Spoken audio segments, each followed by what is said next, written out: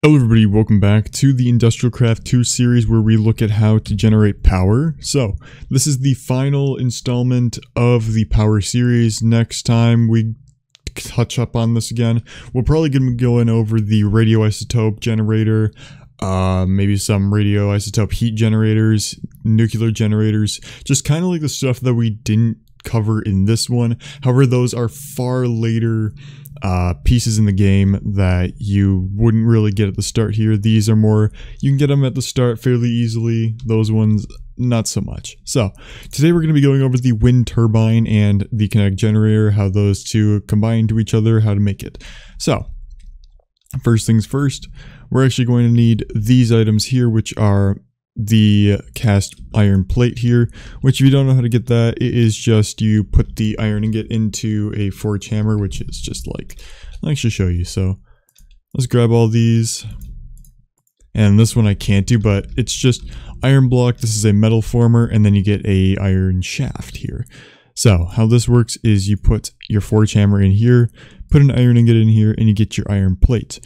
To get these iron item casings, you're going to put this iron plate in here and you'll receive two of the iron casings and that is how you get those. And then to get this um, shaft it's just you stick it into the metal former and then you will get this shaft. It has to be an iron block. It can't be an iron ingot otherwise nothing will happen. Moving on we're going to get some basic machine casing. So it's just these iron plates eight of them to be exact and you are going to put it in a shape like an O and then you're going to get basic machine casing. This machine casing is then going to be used to make our turbine here, which uses the basic machine casing, and then two of these iron shafts that you get from the metal former with the block in them. So you put them like this, and you put that in there, and then you get your wind turbine. So it's on the center line, only you can move it around, works either way. Doesn't work like this, has to be on a line. Put it like that and you get your wind turbine. Moving over here, we need to make a little thing for the kinetic generator. The kinetic generator is what's actually going to make this wind turbine work. So if you don't know how wind power works, pretty much you need to turn the wind energy that you would get from it standing up there and you need to turn it into kinetic energy for it to actually be able to produce some sort of electrical unit. So we're going to make the kinetic or the yeah the kinetic generator right now. So to make this, you're going to need an electric motor. To make this electric motor, it is simply going to be copper cables, which if you don't know how to make these, we went over in the first tutorial how to make them. You're going to need a cutter and then copper ingots. So, to make this, I, yeah, I forgot one. All right, so it's just an O with copper cable, and then put in an iron ingot and you get this copper coil. And that actually isn't the right recipe, uh, this was how to make the copper coil. I noticed that that didn't look right. But, so if we go over to make the electric motor, it is two of these copper coils, some tin iron, some tin item casing, which is just the forge hammer and some tin plates.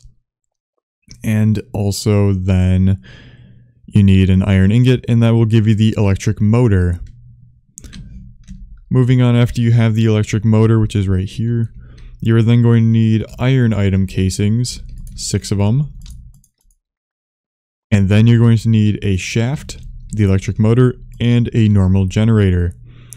Arranging these in the pattern like this, you will then get the kinetic generator. Now that you have the kinetic generator and the wind turbine, you're going to need to actually make some rotors for it. So I have two rotors right here, wood is kind of the basic thing. Like you would probably use wood if you're very new to this, starting out very recently.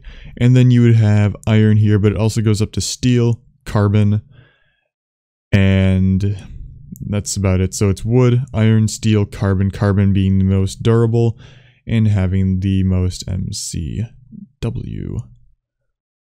So, let's start with making the wood one first. So first you're going to want to make this, which is a rotor blade. So to make the rotor blade, it is going to be six planks followed by three logs. So arranging it like this, three logs in the center and three planks on each side, and you get one wooden rotor. Arranging the rotors or the rotor blades in a order like this, you then get the actual rotor itself. So I will show you later how these rotors affect the power output of what comes in what comes out. So now I'm going to move over to a more useful option, which is actually a um, uh, iron rotor. So to make these, we're going to need six of these iron plates that I showed you how to make at the beginning. Take these, and then we're going to need three of the iron ingots. Placing the iron ingots like this in the center, and then placing the iron plates at the ends, you're then going to get the iron rotor blade. So, with the iron rotor blade, you're going to take four of those, and then a shaft, which again, throw that in a metal, throw the iron block in a metal form and you get the shaft, and then putting that together makes the kinetic gearbox rotor iron stage. So I'm going to actually hop over into creative mode and I'm going to just build up a little, um, little basic thing to show you how it all works. We will use the gold cable as usual. You might want to use some sort of LV thing to convert, but we can also, I think we can use a battery box. So I'm going to just build up really quick. Hopefully the wind isn't weak or anything. So to place this, you're going to want your wind turbine to go here. And then out the back here, it's kind of like an observer. If you want it to make like an infinite thing, you got to place it into it. It's the same exact story. So to so to place this kinetic generator, you need to have it on a block, and you put it right here. And then on the inside, well, obviously there's nothing because we don't have a rotor. But if there's a rotor right here, you can see that's moving really quick. Wow. But you can see that there's a bandwidth of 27.2 EU per tick.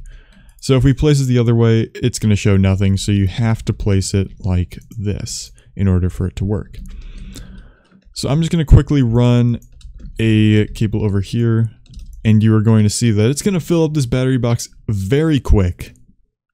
And this is with a wood rotor. So if we go over just a couple blocks over here, mm, not a couple, but a fair amount of blocks over there, we put our wind turbine down.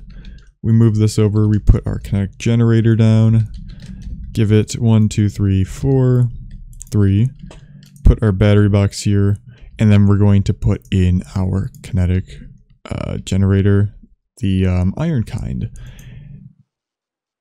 And this also has something to do with, yep, you can see that this has 59.2 EU per tick. These are not high voltage cables, so we had a little bit of an explosion. That's going to happen with high power. You may lose a battery box.